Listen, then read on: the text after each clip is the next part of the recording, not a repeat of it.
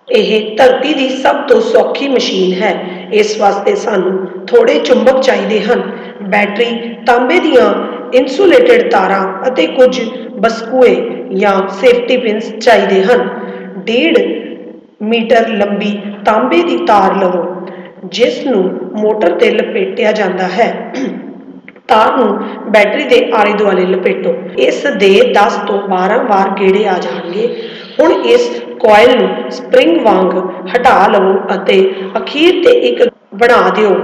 ਅਤੇ ਦੂਜੇ ਪਾਸੇ ਹੋਰ ਗੰਢ ਬਣਾ ਦਿਓ ਇਹ ਦੋਵੇਂ ਬਾਹਾਂ ਵਿਆਸ ਦੇ ਨਾਲ ਹੋਣ ਇਹ ਇੱਕ ਵਧੀਆ ਸੰਤੁਲਿਤ ਕੋਇਲ ਬਣੇਗਾ ਦੋਵੇਂ ਆਖਰੀ ਹਿੱਸਿਆਂ ਨੂੰ ਕੱਟ ਦਿਓ ਤਾਂ ਕਿ ਉਹ ਸਿਰਫ 3 ਸੈਂਟੀਮੀਟਰ ਲੰਬੇ ਰਹਿ ਜਾਣ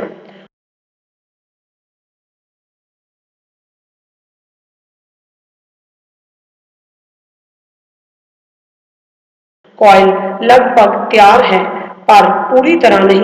ਇਨਸੂਲੇਸ਼ਨ ਨੂੰ ਇੱਕ ਆਖਰੀ ਹਿੱਸੇ ਦੇ ਤਿੰਨ ਪਾਸਿਓਂ ਰਗੜੋ ਇਸ ਦਾ ਇੱਕ ਚੌਥਾਈ ਹਿੱਸਾ ਇਨਸੂਲੇਸ਼ਨ ਵਾਲਾ ਹੋਵੇਗਾ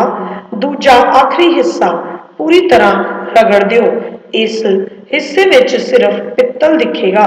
ਇਨਸੂਲੇਸ਼ਨ ਵਾਲਾ ਹਿੱਸਾ ਇੱਕ ਬੁਰਸ਼ ਜਾਂ ਕਮਿਊਟੇਟਰ ਵਾਲਾ ਕੰਮ ਕਰੇਗਾ ਇਹ ਕੋਇਲ ਤਿਆਰ ਹੈ ਇਸ ਦੇ ਇੱਕ ਸਿਰੇ ਤੇ ਸਿਰਫ ਤਾਂਬਾ ਹੈ ਅਤੇ ਦੂਜੇ ਸਿਰੇ ਤੇ ਤਿੰਨ ਪਾਸੇ ਤਾਂਬਾ ਹੈ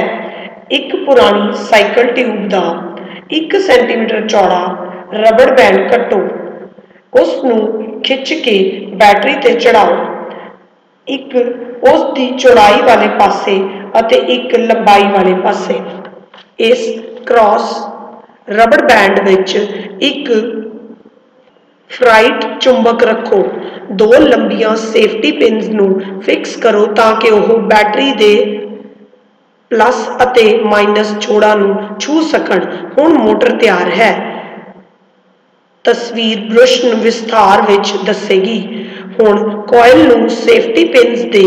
ਦੋ ਗਲੀਆਂ ਵਿੱਚ ਪਾਓ ਕੋਇਲ ਨੂੰ ਇੱਕ ਮੁੱਢਲਾ ਧੱਕਾ ਦਿਓ ਅਤੇ ਆਪਣੇ ਦੁਆਲੇ ਘੁੰਮਣਾ ਸ਼ੁਰੂ ਹੋ ਜਾਵੇਗੀ ਇਹ ਘੁੰਮਦੀ ਹੋਈ ਮੋਟਰ ਬਹੁਤ ਵਧੀਆ ਲੱਗੇਗੀ ਦੂਜਾ ਚੁੰਬਕ ਉੱਪਰ ਲਿਆਉਣ ਤੇ ਇਹ ਹੋਰ ਘੁੰਮਣਾ ਸ਼ੁਰੂ ਹੋ ਜਾਵੇਗਾ ਇਸ ਦਾ ਮਤਲਬ ਹੋਵੇਗਾ ਕਿ ਤੁਹਾਨੂੰ ਇਸ ਦਾ ਵਿਪਰੀਤ ਸਿਰਾ ਮਿਲਿਆ ਹੈ ਜੇ ਮੋਟਰ ਦੂਜੇ ਪਾਸੇ ਹੌਲੀ ਹੋ ਜਾਂਦੀ ਹੈ ਤਾਂ ਤੁਹਾਨੂੰ ਇਸ ਦਾ ਉਹੀ ਸਿਰਾ ਮਿਲਿਆ ਹੈ ਇਸ ਕੋਇਲ ਨੂੰ ਲਵੋ ਅਤੇ ਇਸ ਨੂੰ ਅੰਡੇ ਦੇ ਆਕਾਰ ਦਾ ਡੰਬਲ ਬਣਾ ਦਿਓ ਇਹ ਕੋਇਲ ਦੀ ਬਹੁਤ ਚੰਗੀ ਤਰ੍ਹਾਂ ਘੁੰਮੇਗੀ ਤੁਸੀਂ ਕਈ ਆਕਾਰ ਅਤੇ ਸ਼ਕਲ ਦੇ ਕੋਇਲ ਬਣਾ ਸਕਦੇ ਹੋ ਤੁਸੀਂ ਇਸ ਮੋਟਰ ਨਾਲ ਕਈ ਪ੍ਰਯੋਗ ਕਰ ਸਕਦੇ ਹੋ ਸਿਰਫ ਇੱਕ ਬੈਟਰੀ ਤੇ ਇਹ ਮੋਟਰ 3 ਘੰਟੇ ਚੱਲੇਗੀ ਇਹ ਧਰਤੀ ਦੀ ਸਭ ਤੋਂ ਸਧਾਰਨ ਮੋਟਰ ਹੋਵੇਗੀ